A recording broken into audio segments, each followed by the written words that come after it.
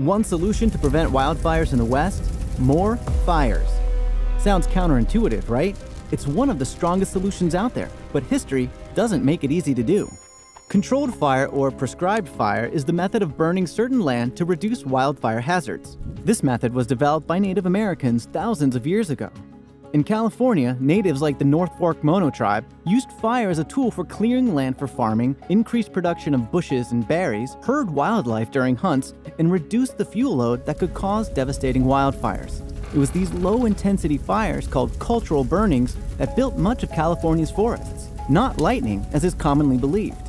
Without controlled burns, forests would have become overgrown and unmanageable. Overgrown forests create a lot of fuel in the form of dry or dead plants. As European colonization grew in California, native tribes were banned from engaging in cultural burning, and over time, state and federal authorities focused on quickly extinguishing any wildfires. For example, the U.S. Forest Service infamous 10 a.m. policy said that any fires that occurred must be put out by 10 a.m. the next day.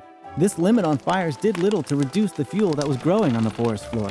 And even with these policies, California still has fuel loads waiting to be burned from centuries ago, making prescribed burning far more tedious and expensive than previously thought. As home developments increase in and near forest lands, there's little incentive for more prescribed fires at the risk of them becoming uncontrollable. Though study shows that happens less than 1 100% of the time. Climate change is also making fires in the West bigger and longer lasting.